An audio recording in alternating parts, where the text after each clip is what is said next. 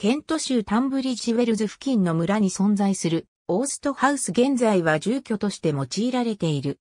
オーストハウスとはイングランドにおいて、ケント州及びサセックス州を中心に存在する土着の建築物。醸造過程に必要なホップの乾燥に使用される。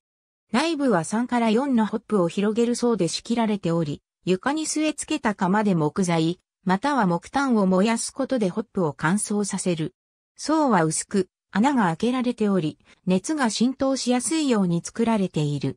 栽培したばかりの新鮮なホップをここで乾燥させ、次の醸造工程へと回される。現在も残されている最古のオーストハウスは、クランブルックのタンブリジウェルズにあるもので、1750年頃に建設されたとされている。ホップの乾燥自体は16世紀にホップがイングランドに伝わった直後から行われていた。初期のオーストハウスは単に納屋を改造しただけのものであったが、19世紀になると円形をした独特の家屋が建てられるようになった。さらに20世紀になると建設が容易な区系のオーストハウスも導入されている。1930年代には電動ファンとディーゼル機関を用いるようになった。現代的な醸造においてホップは工場において機械的に乾燥されている。